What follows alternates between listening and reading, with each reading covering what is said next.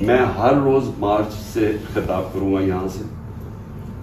और हमारी मार्च अगले 10 से 14 दिन तक इसके बीच में स्पीड के ऊपर डिपेंड करता है। ये पहुंचेगी पिंडी।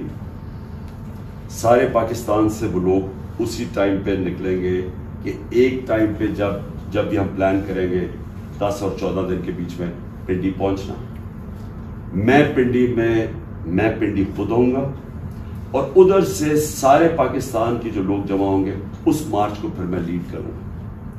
और मैं ये अपनी सारी कौम को आज कहना चाहता हूँ कि आप सारों ने एक चीज़ समझ लेनी कि अगर हम ये खौफ के अंदर आ गए और हमने ये जो मैं बार बार कहता हूँ कि ला इल्लल्लाह, कोई नहीं है खुदा सवाय ये हमें आज़ाद करता है। ये हमारा कलमा हमें आज़ाद करता है।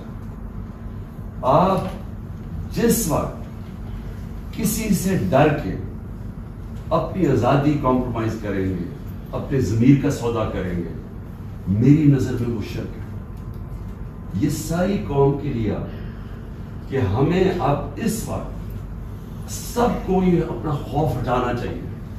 और बताना चाहिए कि हम इंसान हैं, हम भेड़ बकरियाँ नहीं हैं। हम ये कौम पाकिस्तान एक बड़ी ख्वाब का नाम है।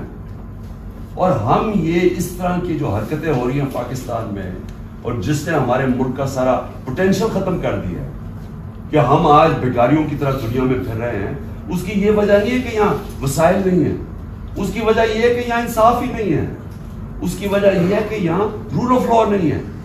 और इसलिए ये वक्त है हकीकी आज़ादी लेने के लिए आप मेरे साथ सब आए।